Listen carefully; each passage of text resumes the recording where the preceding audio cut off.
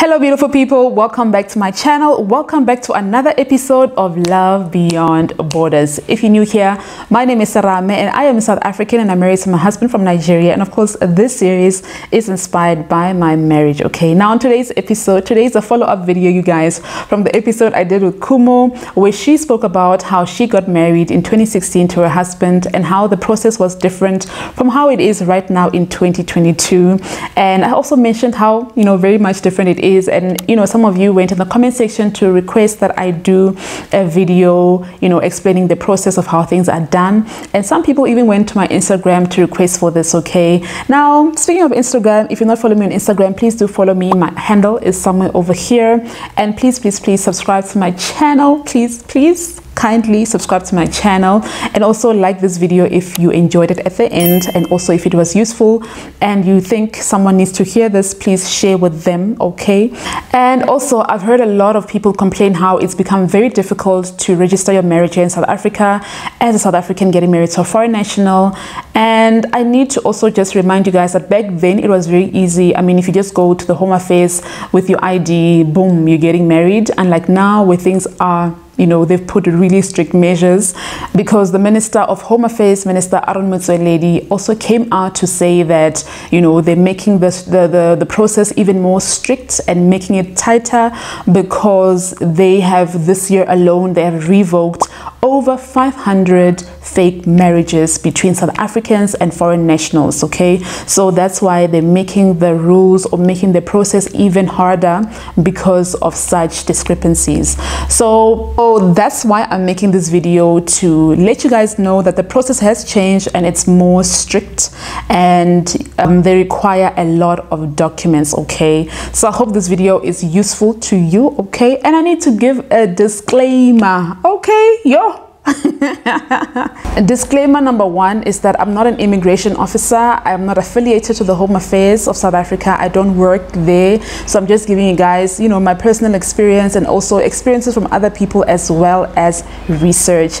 Another disclaimer, this is not me saying go and get married to foreign nationals. I'm not encouraging anybody to go and get married to foreign national. Please go and marry whoever you want to get married to, okay? But anyways, let's get right into the video and always remember one love, one Africa.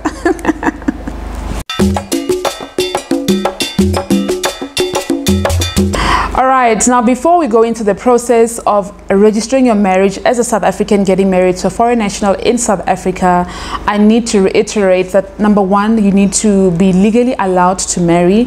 Number two, you need to understand the consequences of getting married legally in South Africa. And also you need to remember that if you don't have an anti-nuptial contract, you are automatically getting married in community of property. Now, I'm not a lawyer. I'm not going to be, um, you know, breaking down or debunking all of that. I'm going to leave um, on the screen contact details of a lawyer. You can contact to understand what it means to marry in community of property and your other options okay? Now uh, let's get down to the crack of this video okay?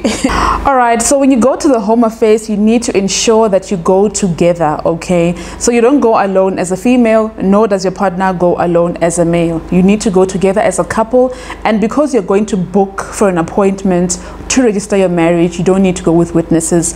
It's just the two of you. But when you go you need to go fully armed.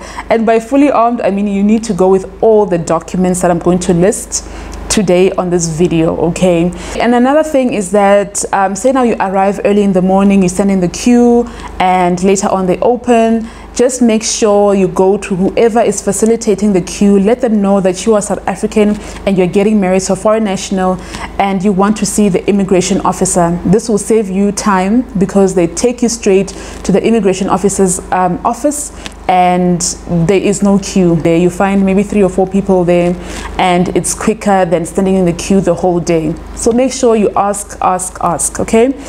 So when you get to the immigration officer um, the first thing they're going to ask you as a South African is your national ID. And you know, you might get an officer that wants copies as well. So just to be safe, please also make copies and get them certified and go with them on that day okay? So it's your national id two colored copies that are certified. The next thing they'll ask for your partner's passport okay? So this is where things get a little bit interesting. Um, they ask for your partner's passport and his permit. Say a student visa a work visa a business visa whatsoever it needs to be valid okay? So say for instance your partner came in 2015 for instance right? Um, and his new passport said issued on maybe 2020 right? So they're going to ask him when he came into south africa. They know already they just want to they just want honesty. When he came to south africa and just remember please please please be honest. Um, they're going to ask when he came into south africa he'll mention maybe 2015 for instance and they're going to ask which visa he came into the country with. So say for instance he came as a student. They're going to ask for his expired passport and his expired permit. So make sure that you have that as well when you go. They might not ask, for some people they asked, so just ensure you have everything because they're going to ask. Depending on, you know, the immigration officer, make sure you have these things, okay? So it's your ID, your husband's passport, his expired passport, all his visas from when he entered South Africa. They do also mention that we can get those things for you, but it's going to take time and when I say time, I'm talking about six months, 12 months because they are working on backlog at the moment. Okay, so just ensure you have um, those documents with, right? Okay, now that we have that out of the way, the next thing they're going to request is your proof of residence, right? So please note if you live in Pretoria go to the home affairs nearest to you. Because if you live in Pretoria and you go to the home affairs in Centurion or in Johannesburg they're going to chase you away. They're going to turn you back and say go to the home affairs nearest to you. So if your proof of address says that you live in Pretoria go to Pretoria okay? So both of you need to have proof of address and, and ensure that it's the one closest to where you live okay now, the next document they're going to request is a letter of non-impediment or the letter of no impediment. This document comes from your partner's country and it, it shows that your partner is single and is not married in his country legally. so just ensure that um, you get this document and also please note that they need the original copy so it's either your partner goes to his country to get this letter or he gets someone to get it for him and they send it via DHL or maybe someone that's coming from their country to South Africa, they can bring it along because they do not accept copies. They want original documents. Next document they're going to request for is your Lobola agreement or your Lobola um, contract. Now I know this might sound new for some people, but um, they are going to request for that. So, so on your Lobola day, there needs to be a contract between your family and your husband's family because remember it's an agreement, right? So for instance, your dad or your uncle or whoever is representing you from your family can write down a contract and on that contract needs to be their name, the name of the family, um, the date of the lobola, the money that they requested, the money that was negotiated, and the money that was paid, and whether or not they agree um, to that money. And they must also specify that they're handing you over to your husband's family. And obviously, your names should be there, your name should be there, your husband's name should be there, and his passport number, and your name should be there with your ID number. And yeah, just them saying they're handing you over, and there needs to also be signatures. This contract does not have to be typed out, it can be written or it can be typed out and whoever is there on the day can just sign um, just to show that they were there your family members and his family members as well. So just make sure that that contract is there because they're going to request for it. And also speaking of lobola another tip i'm going to give you right is that the question they asked us they wanted to see the pictures of the day. So if you're having a lobola celebration or whatsoever make sure you take pictures and they're going to ask something like can we see was there a tent for instance? I don't know how important that is but they ask to see pictures of the tent. Um, some people might not have a tent on the day so if you do have a tent take pictures of that.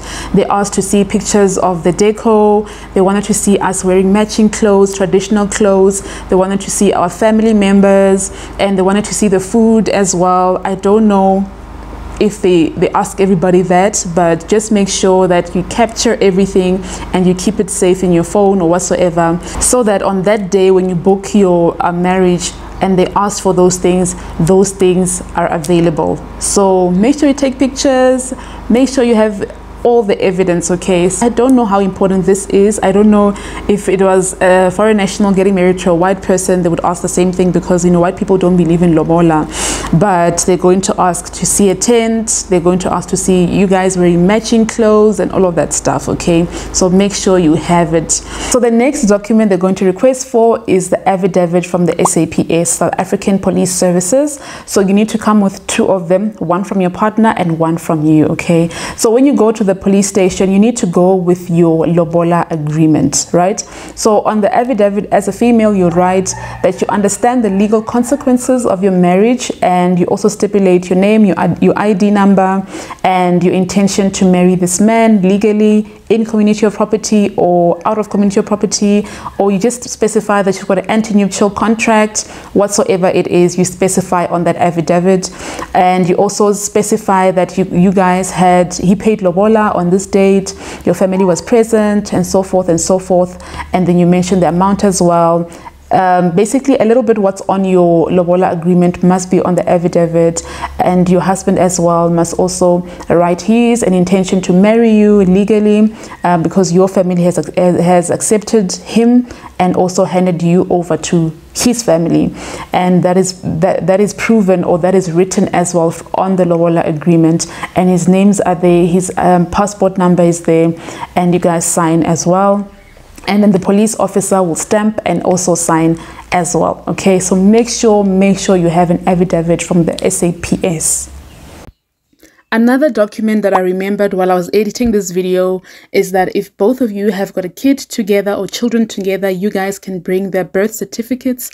And on their birth certificates, um, I'm assuming your name is there and your husband's name is there as well. So this also proves that you guys are indeed together and you even share a child or children. And lastly, it's the interview. So this is when they ask about your love story, when you met, etc., etc. So just be honest and I think everything should be okay. So yes, you guys, that is it for this video. If you have any questions, if I left out anything, please comment down below and let me know. If you have any questions, please comment down below and let me know. And also follow me on Instagram. My handle is over here. If you have any private questions you'd like to ask, you can go to my DMs and you can ask and we can chat away, okay? And please, please, please don't forget to subscribe to this channel. Don't forget to like this video and share with your friends and family. And again, this video, it's not me encouraging South African ladies to go and marry Nigerian men please go and marry who you want to marry okay? Anyway stay blessed and remember one love one africa. Bye